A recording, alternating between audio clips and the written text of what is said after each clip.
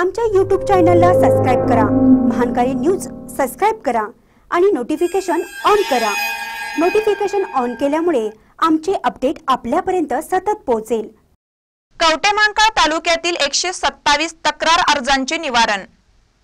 Sangli police अधीक्षक सांगली यांच्या आदेशानुसार कवठेमांकाळ पोलीस ठाण्यातील प्रलंबित तक्रार अर्जांची झिरो पेंडन्सी करण्यासाठी सांगलीचे अप्पर पोलीस अधीक्षक यांच्या मार्गदर्शनाखाली तक्रार निवारण दिनाचे आयोजन करण्यात आले होते.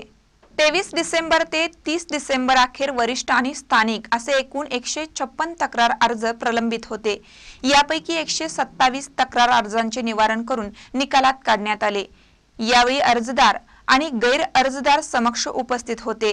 अपर पोलीस अधीक्षक शशिकांत बोराटे यांच्या उपस्थितीत तक्रार निवारण करण्यात आले. कवटेमांकाळ पोलीस निरीक्षक प्रकाश गायकवाड पोलीस उपनिरीक्षक सुभाष कांबळे अजित भोसले सचिन वसमळे यांनी तक्रारीचे निवारण केले. महानकर न्यूजसाठी कवटे महांकाळहून सनी लोंढे.